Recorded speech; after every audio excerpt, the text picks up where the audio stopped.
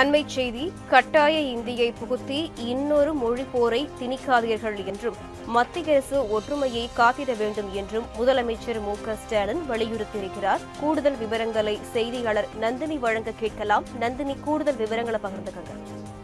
வணக்கம் காயத்ரி. கட்டாய இந்தியை புகுத்தி இன்னொரு மொழி போரை திணிக்காதீர்கள் எனவும் ஒன்றிய அரசு ஒற்றுமையை காத்திட வேண்டும் என்றும் தமிழ்நாடு முதலமைச்சர் அறிக்கை ஒன்றை வெளியிட்டுள்ளார். அந்த அறிக்கையில் இந்திய துணை கண்டத்தின் பெருமையும் வலிமையும் பன்முகத்தன்மைதான் என்றும் பலவித மதங்கள் மொழிகள் பண்பாடுகள் கொண்ட மக்கள் சகோதரத்துடன் வாழ்ந்து வருவதை எப்படியாவது சிதைத்துவிட்டு ஒரே நாடு என்ற பெயரில் ஒரே மொழி ஒரே மதம் ஒரே உணவு ஒரே கலாச்சாரம் என நிறுவிட வேண்டும் என்று ஒன்றிய பாஜக அரசு தொடர்ந்து செயல்படுவது என்பது இந்தியாவின் ஒற்றுமைப்பாடுக்கு ஊறு விளைவிக்க கூடியதாகும் என தமிழ்நாடு முதலமைச்சர் குறிப்பிட்டுள்ளார். அது மட்டுமல்லாமல் இந்தி பேசும் மாநிலங்கள் எனும் ஏ பிரிவு மாநிலங்களில் இதனை முழுமையாக செயல்படுத்தி ஓரளவு இந்தி பேசும் மாநிலங்களிலும் இதனை தொடர்வதுடன் இந்தியா முழுமைக்கும் இந்தியை பொது மொழியாக்கிட வேண்டும் என்ற பரிந்துரைகளும் இதில் அடங்கியுள்ளதாக குறிப்பிட்டுள்ள அவர் இந்தியை பொது மொழியாக்கிடும் வகையில் தொழில்நுட்ப கல்வி நிறுவனங்கள் தொழில்நுட்பம் சாராத கல்வி நிறுவனங்கள் கேந்திர வித்யாலயா பள்ளிகள் என ஒன்றிய அரசின் கல்வி நிறுவனங்கள் அனைத்திலும் இந்தி மொழியை பயிற்று மொழியாக்கப்பட வேண்டும் எனவும் பரிந்துரைக்கப்பட்டுள்ளது என்றும்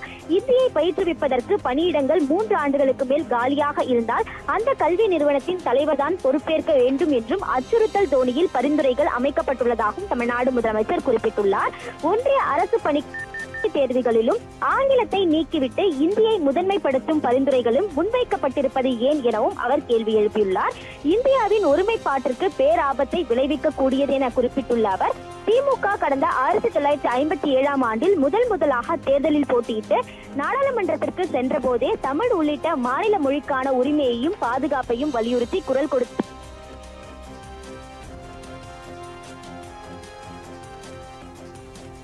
விவரங்களை வழங்கியமைக்கு நன்றி நந்தினி.